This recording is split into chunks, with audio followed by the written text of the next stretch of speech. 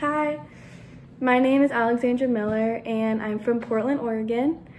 I am going to be a sophomore this year and I'm planning to double major in anthropology and sociology. Um, I think the thing that I'm most passionate about is watching movies. Watching movies is literally like my absolute favorite thing to do when I have free time or I'm in a bad mood because the right movie will instantly cheer me up um, I'm specifically obsessed with 80s movies. I love the clothes and the style and I love the fact that there's no social media or cell phones because it just makes the movie seem more genuine.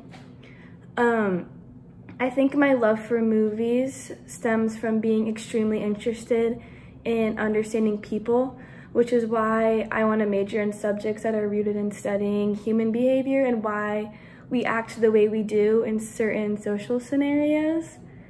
Um, I'm also very passionate about ensuring equality and social justice in our society due to what has been happening um, in Portland specifically recently with the unmarked federal agents abusing Black Lives Matter protesters and detaining them without reading them their rights.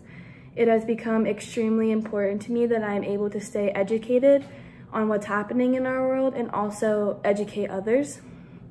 Um, through joining Greek Life, I hope to become a part of a group of strong women who love and support each other constantly.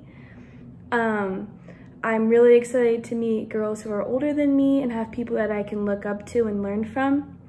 I'm really looking forward to rushing this semester and making friends. Uh, thank you for listening and I can't wait to meet everyone.